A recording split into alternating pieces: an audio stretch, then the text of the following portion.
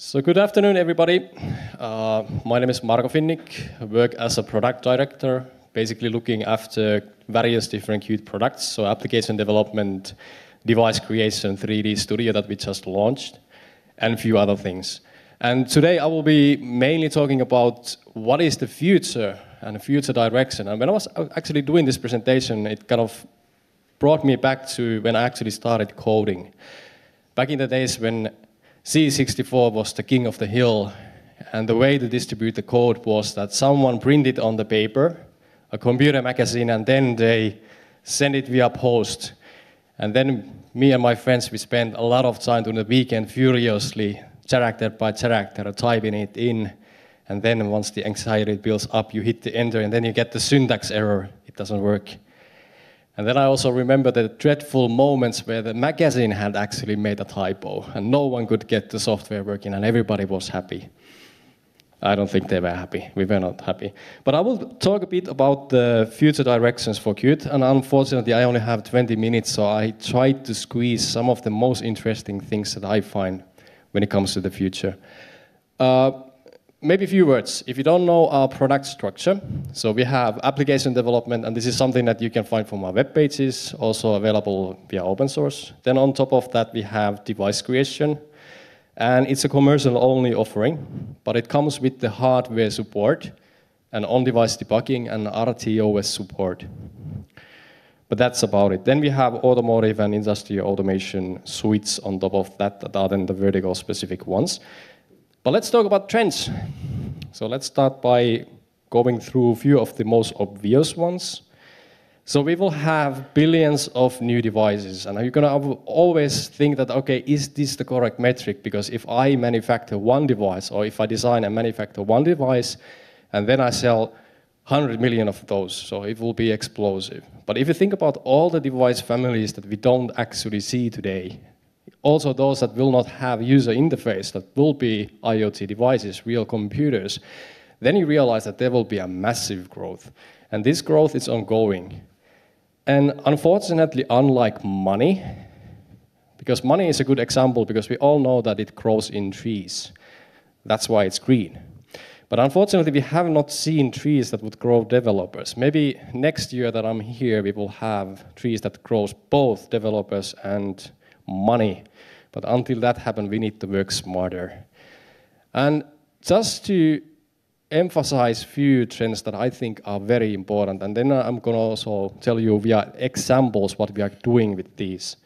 The first thing is right sizing and asset reuse. So let's now imagine that you would work, be working for a company that is just about to enter the wearable domain. So you have identified that there's a really nice market opportunity in the mid markets for a new wearable device. So what's most probably is going to happen is that you have the UX guys, and then you have the industrial design. They will start furiously working on what will it be, and then you have the UX guys running around creating a lot of different sketches, testing it with the end customers, and then coming back to your management and saying, okay, this is what we're going to do, and this is going to be the coolest thing ever. And of course, you have the industrial designers doing the industrial design, how is it going to be? And then you have the guys who will actually think, okay, how am I going to manufacture these? And then they will say that, okay, we, are, we have to have some BOM cost limitations. And they come up with you and say that, okay, we can only run IMX7, single core, crappy hardware. And then you have the software designers somewhere in the middle. They get the UX designs that are somewhere in here, and then you have IMX7, which is somewhere in here, and then you have a lot of different problems. But I'm going to actually park this discussion, and then I'm going to back to this a bit later on. But let's fast forward a bit. So let's say that now you have introduced your device. So most probably what you're already thinking is, how do I downscale? How do I upscale? So you want to make sure that all of the tools are the same. So you don't have to use different IDEs, tool chains, because this actually is very, very expensive graphics, designer assets, code bases, and board support packages, and so forth. And you would always say that, okay, well, this makes sense, so why don't we just do it? Well, I know many of you work for companies where you may have 15 to 100 device programs going concurrently. This is not exactly easy. But of course, we as an Qt company and all the open source community that contributes to Qt, this is our goal, this is what we want to do, and this is in the core of what we are doing today and in the future as well. So let's take a few examples. So how do we make it easier to scale down? Well, we released the Qt configuration tool. It's a very easy, to way, easy way to create uh, stripped down Qt Lite configurations. We have Yocto recipes and partner boards, how to do embedded Linux properly, so that you don't have to start from scratch. But if you want to use some other RTOS, you can do. We have actually really nice support, Integrity, QNX, VxWorks, and various other partner ports. And as a service, we also provide various type of adaptation services. So you can actually do a wearable. And we actually have a wearable demo running IMX7, so you can go and check it out. A few words about the Qt configuration tool. So this is a graphical user interface that you can actually use. So it's not something that it's a bunch of scripts that someone somewhere has created, but no one knows what they are and how to use them. So this is actually very nicely productized. What are the gains? Good example. In Qt 5.6, by using dynamic linking, if you do a simple QML uh, user interface, for instance, for a wearable device, the application size will be roughly 25 megabytes. Static linking shrinks it to 30 megabytes, but if you use Qt configurator, you can squeeze it to 5 megabytes. So why does this matter so much? Well, I can tell you that IMX7 will have few performance bottlenecks it will have very slow speed, storage speed, RAM speed, and so forth. So you want to make sure that you have squeezed the binary size, just to make sure that it's performing. And of course, you want to make sure that you always use as little amount of resources as possible. So it makes the uh, footprint small. A single process architecture will get most performance benefit, that's kind of understandable. There are also some compatibility benefits as well. But then the question is always, okay, so how does this relate to real-time performance? So we have a demo that shows and boots up an information cluster that you would basically see in a car, runs embedded Linux on top of IMX6, 4 cores, 1 gigahertz. It takes roughly 1.25 seconds to boot that embedded Linux, and it takes 0.25 seconds to boot the whole information cluster's QML app. So we have made this extremely fast. And then give you another point of reference. Let's compare this to HTML5. Uh, the biggest problem that I have always had with HTML5, even though it has a lot of uses, so it's not completely useless. But if you want to run it in an embedded device, you need to have a browser. Most probably use, you would use Chromium. Chromium, even if you use some static linking magic, throw away stuff that you don't need, it's going to be 40 megabytes, and that's heavy to start up. It, it has a lot of file accesses, ROM accesses, and so forth. And even with my laptop, I was actually testing it, it takes two seconds to start. So if you think that we can boot up the whole information cluster in a low-level hardware in faster time that it takes my laptop to boot the Chromium, you can see where the performance difference comes from. And it has actually been tested as well, that if you want to have HTML5, for instance, for a wearable device, to get even close to comparable performance, you actually have to run IMX6 dual core. What does it mean? Well, it means double the BOM cost. That's pretty significant. So if you want to scale up, this is not necessarily about the wearables. Who wants to do a wearable like that? not me, at least. But it shows that uh, we are seeing that many industrial automation systems, they don't want to use PCs to run multi-display setups. They want to use those simple, uh, simple SOCs like IMX6 or even IMX8, but they want to do multi-screen setups. And we have actually made this easy with Wayland. So those of you who don't know what Wayland is, it's a simple uh, client-server protocol, how do you do multi-screen setups? And we have made it very easy. So with few QMLIs, you can actually create a compositor. And compositor is the server running uh, those um, various different screens. And there are actually two talks tomorrow. So if you are interested in this topic, go and check Andreas, his talk about how to do tailored compositors, and Johan, how to do multi-process UI properly. And many of, many of us get a lot of questions how to do multi-process UIs, for instance.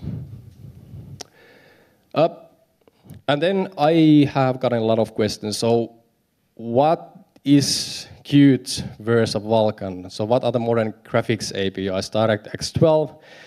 And these are now supported with the Qt 5.10, which went to beta 1 this Monday, so you can go and check it out. It also supports OpenVG, and we have Laszlo tomorrow talking about how to use this properly. And he will also talk about some of the interop enablers, how to do 2D and 3D, and how to bridge these together. So go check it out if you're interested. But let's talk about the designer developer workflow, and I think this is the most important topic. So we have a lot of different and typical embedded project headaches, too long development cycles, large set of technologies to maintain, and so forth. But you kind of know what these are already. So how can we actually improve this? And those of us who have studied Lean, Lean teaches us that if you want to understand and learn and improve the performance, you need to first understand the core flows. For instance, we have value streams. And if I go back to now to my original example of let's create a wearable devi device, you would have the UX guys. They do sketches, they test it with the end customer, they come up with the graphical assets. If it's a wearable, most probably they use Adobe Illustrator, Photoshop, or something else. And then how it goes in real life is that it goes into some dark place. Some people call it the cloud cuckoo land then it lands on the software developer's desk. Then the software developer looks at the on device, and then they scratch their head that, okay, uh, this is not going to work. And then you realize that you have very, very long cycles. Like in the previous uh, presentation, there was multi, multiple months delays of actually getting stuff running to the debugging device or the on device. And how we wanted to actually change this is that we will introduce the 3D Studio. And 3D Studio is there to make sure that the designers can actually run the stuff that they are designing in the real device, or at least in an emulator. So you can think that they take the graphical assets, they take the 3D Studio or Quick Designer, and then they will import all the assets, create the animations, all the flows, and then they will either run it on an emulator where they will immediately see that, okay, does this actually work or not? Or how it's even more preferable in the actual device. Good example, if you have a wearable device, you want to make sure that the, all the graphical assets that you have done is actually usable by finger. And the only way that you're going to do this is by testing it in real device. And that's completely doable in the future. Maybe not today, but in the future it will be. And the goal is to make sure that this designer developer workflow to actually get stuff running in the on device would preferably be hours and not months. And we can already do this quite fast, so we have the demos available, so you can go and check it out in the demo booth. And we will improve that in the future a lot. So then, of course, software development, the goal is to get the software developers to focus on the business logic of the application instead of fighting those battles. And we will do a lot of improvements also for the software development side. And by the way, we are extending quite a lot the number of uh, reference boards that we actually support. And if you are thinking about creating yourself a new device, and you're thinking about that, okay, there would be these and these reference boards that we're going to use, let us know. Because if we know that, most probably we can include those in the future so that they are supported out of the box. So it will make your life a lot easier.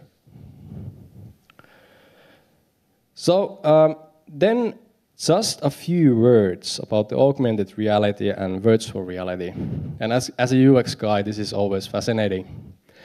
Uh, many people, when they talk about augmented reality, it's like this shiny new thing that it's going to be a big hit somewhere in the distant future. The thing is that it has already happened. We have had a lot of different applications already in the market. Of course, it doesn't mean that it wouldn't grow, but it's much more stable in a state that if you compare it to the VR, which is then a much more mushier. And the good example with the VR is that you actually have to experience it to realize what the bottlenecks are. Good example if that if I talk to some of you about latencies, for instance in a wearable design UI, you would immediately say that, well, why is it a big problem? Well, it, it's a bit slow, but so what? It, it's good enough. In VR, it introduces motion sickness, and trust me, it's, you don't want to have that at all. And second thing, like the basic things that we take for granted, good example are the touch UIs. They work beautifully well in the physical world, but how do you do them really nicely in the virtual world? So how do you actually poke something that is not there? So there are quite a lot of things in virtual reality that will kind of shape the, the future, but it's not quite there yet. But like I mentioned, we do have examples, and these have been built with Qt in automotive. So we have heads-up displays. We have a lot of different architectural applications, entertainment applications, industrial automation, medical, for instance, how to overlay various different medical data to a patient. But these are already there. But the VR is an interesting topic because I think it's going to be one of the big things that is going to change the way we do many, many things. And we have actually a very nice talk tomorrow by Andy Nichols, how to create user interface with virtual reality with Qt. And I can actually tell you an entertaining example because like I mentioned, uh, one of the first things that I learned about VR is that you actually have to experience it. If you want to develop something for VR, you actually have to experience it. And I've been playing around with multiple different VR demos and applications. And one of them was, uh, it's actually an architecture where you can basically create a layout.